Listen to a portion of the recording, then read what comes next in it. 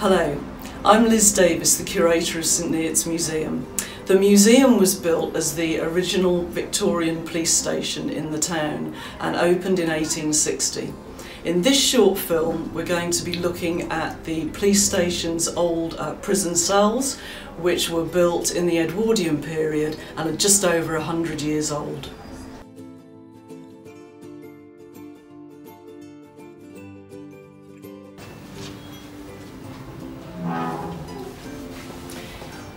Original police station, um, we have three uh, prison cells which are in this cell corridor and they have a very strong iron uh, gate at either end of the corridor and we still have the original key from uh, 1907 which we use every day to unlock the um, gates.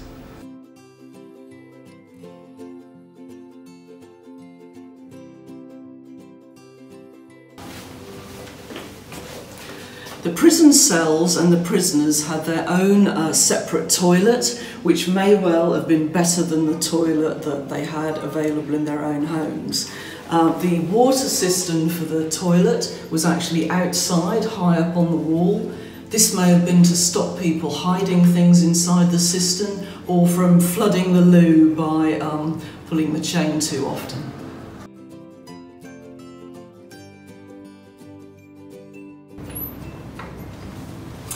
Part of the cell corridor in the police station uh, had this very small area which was known as the exercise yard. You couldn't have got much exercise out here, but perhaps prisoners were placed out here if they were drunk and disorderly or if they became violent.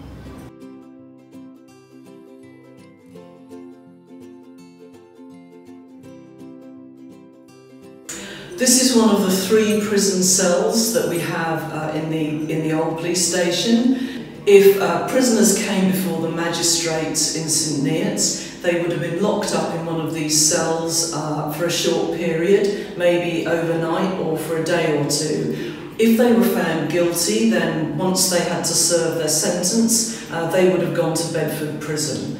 Back in the Victorian period, they could have been sent to Huntingdon Prison, but that had closed down by the early 1900s.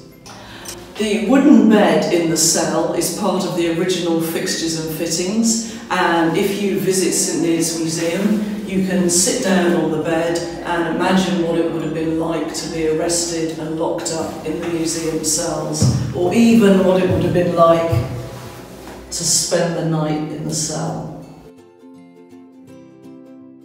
Until 1989, uh, when the Magistrates Court closed, uh, people were being locked up in these cells while they were waiting to go to the Magistrates Court, which is just next door, part of the building now. Uh, while they were here, they were writing graffiti up on the walls, and uh, we preserved all that graffiti. People still come to the museum uh, today who remember being locked up here and um, rem remember some of the people who wrote their names on the walls.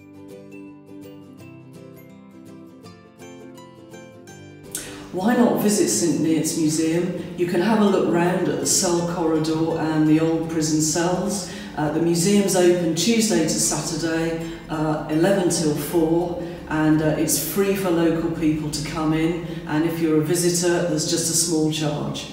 Thank you for listening.